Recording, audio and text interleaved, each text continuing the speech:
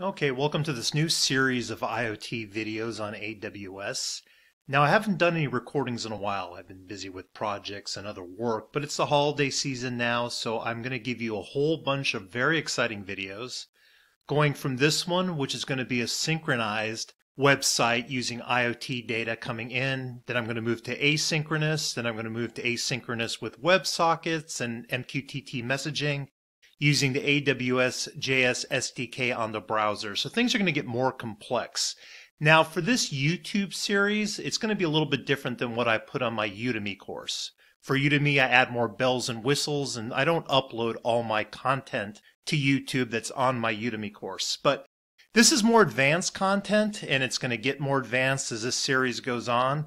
So what I realize is a lot of my Udemy students don't stick around for the more advanced content. So I don't want it going to waste because I think anybody into AWS IoT is going to really enjoy this series, and there's not a lot else out there that's going to cover these topics. All right, so let's get right into it. Now, the first thing for this video is we're going to be sending IoT data from your device. And in this example, if you've taken my course, you already have code using MQTT or HTTP for the ESP8266, ESP32, or Raspberry Pi to send sensor data to AWS IoT Core. Now, don't worry if you don't know how to program an embedded device to send IoT data AWS. I'm just going to fake the data here either through a script or on the MQTT test console. I'm going to show you both ways. So having said all that, let's get started with the video. So the first thing I need to do is set up an S3 bucket. And the S3 bucket is going to first of all hold our IoT data that we're sending from our device or faking from the MQTT test client.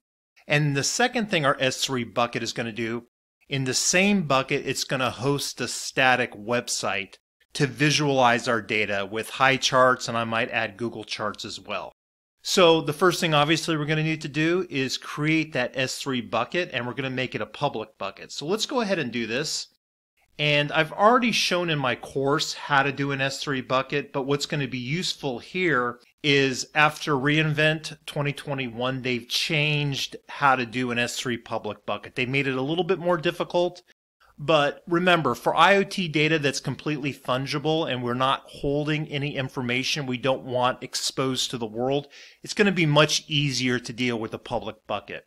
Now, it's very easy to privatize this bucket, but normally the best way to do that is using CloudFront, and that costs a little bit of money. Now, in my course, I also show you how to effectively doing it with a bucket policy, confining the IP range, but I'm not going to go over that here. We're just going to make a public bucket for our data and our static website. So go ahead and create a bucket. Now I'm going to create one in my home region, which is US East 1. So let's make an easy name for this. I'm just going to call this S bucket, and how about 1221? That should be a unique name worldwide, so that shouldn't be an issue. The next thing I have to do when this is new is I want to switch over to ACL, that's the control list enabled. So to make this completely public, I got to access the ACL. So go ahead and do this. So ACL is enabled. Then the other thing I can do here before I create my bucket is I'm going to not block all public access. So uncheck block all public access. And that's all we need to do here and go ahead and create the bucket. And it's going to ask you here, hey, I acknowledge that I'm keeping this public. And again, AWS is super paranoid about making sure you don't have a public bucket unless you explicitly say, hey, I want a public bucket. But that's what we want to do. And they become more paranoid about that within the last three months with this new system. All right, so we created our bucket, and the easiest way to access that newly created bucket is just to hit the creation date up and down. That's the latest one we just created. I'm going to go ahead and click that, and we're still not done because I have to adjust more permissions here. So I'm going to go to the Permissions tab, and the first thing I want to do is create a bucket policy. The easiest way to do that to create an all access read only bucket policy is hit edit under bucket policy. And I'm just going to go to here to policy examples and the one I want is grant read only permission to anonymous users. That's fine. Obviously, even though I'm keeping this bucket completely public, I don't want people writing to my bucket. They can just read it and access the website we're going to create. So go ahead and copy that and I copied that so I can now close this out and I'm just going to paste it here in my bucket policy. And the only thing I need to change here is I need to copy my bucket ARN. I'm going to copy that. I'm going to paste it right here, making sure I do this correctly. And control V that in there. And I want to keep this forward slash everything because that's every key in my bucket needs to be public as well. And go ahead and save those changes. Okay, and then the next thing we have to do is have a CORS policy.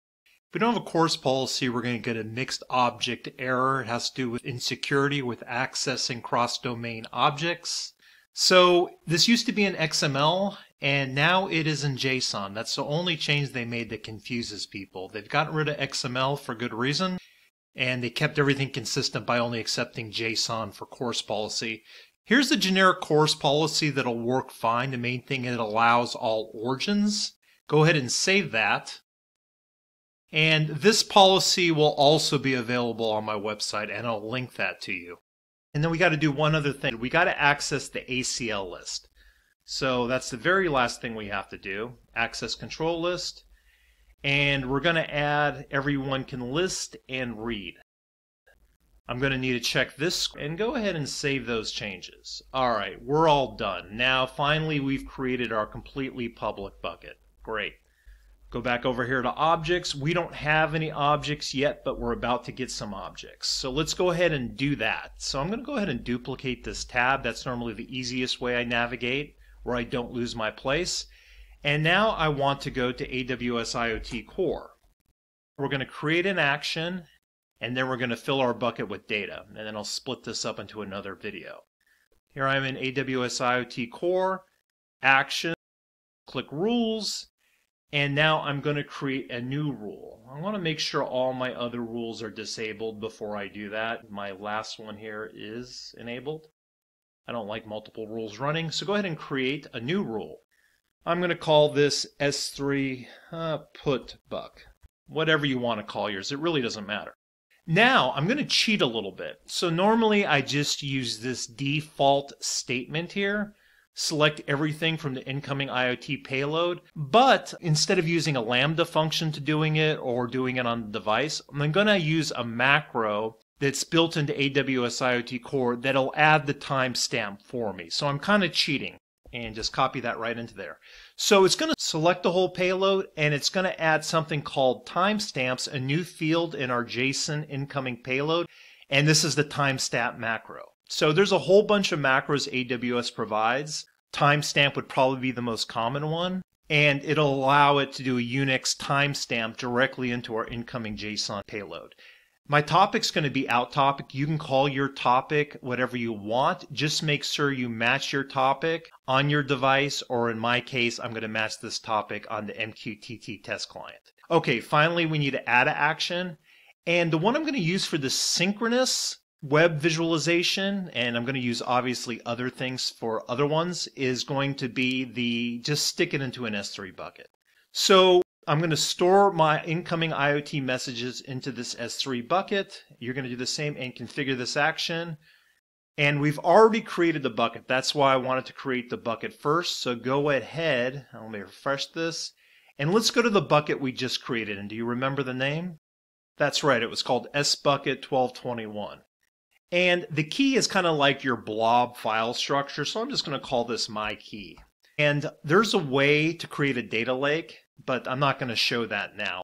With this the way it is now, it's just going to overwrite the data each time I send it. But for this specific synchronous bucket, I'm going to show you why that's fine in the next video.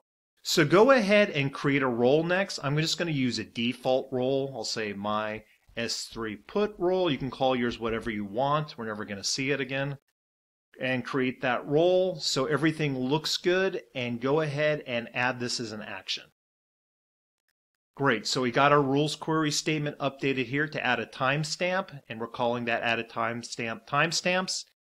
And now we're going to store it in that S3 bucket we just created, and go ahead and create the rule and the only thing we got to do next is to make sure that it's enabled. And normally now it's enabled by default. It didn't used to be, so that makes things easier.